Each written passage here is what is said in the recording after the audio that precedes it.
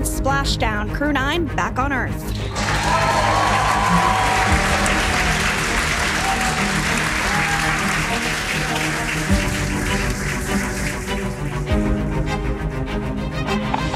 Matrix Freedom, splashdown. Good main release.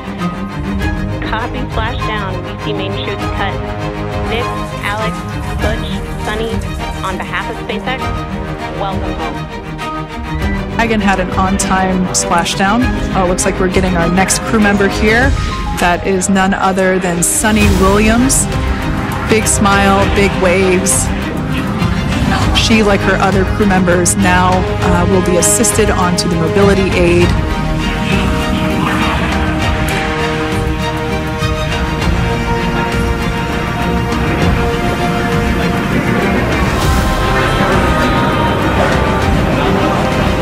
Have it some waves, some thumbs up, and some smiles.